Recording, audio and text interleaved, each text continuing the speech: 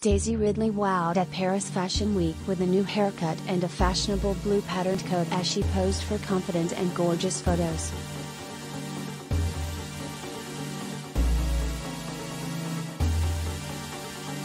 Daisy Ridley, 29, proved she can pull off just about any hairstyle during her latest public appearance. The actress turned heads when she flaunted a new pixie style cut at a Paris Fashion Week event in Paris, France. She looked incredible with the shorter locks, which framed her face perfectly, and they were quite the difference from her previous gently style.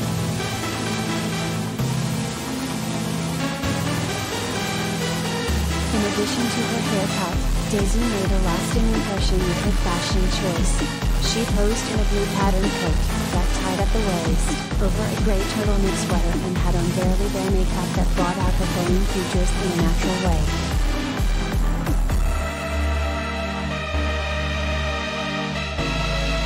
Related.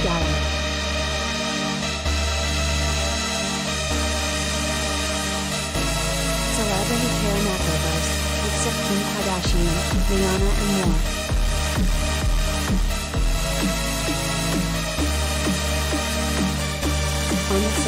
Same was photographed in her blue jacket, she was spotted making an appearance at the Giambattista Valli show Paris Fashion Week. She took off her jacket to show off her gray sweater, which was cropped and tied in the front below a cutout section, and she paired it with a Liaoning leopard print skirt.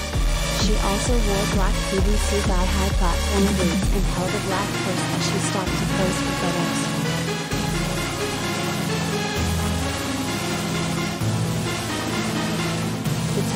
Star was seen sitting next to fellow actress Vanessa Hudgens as she watched the entertaining fashion show. The two looked flawless as they leaned into each other to take photos while around other attendees.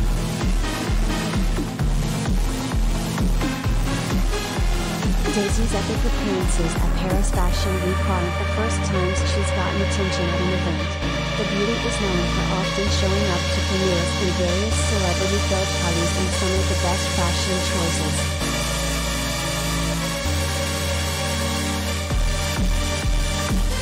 Back in 2019, she rocked the red satin off-the-shoulder dress to the Star Wars, The Rise of Skywalker premiere at the TCL Chinese Theater in Hollywood, California, and in 2017, she wore a sequin black sleeveless dress with white stars to the premiere of Star Wars, The Last Jedi in Los Angeles.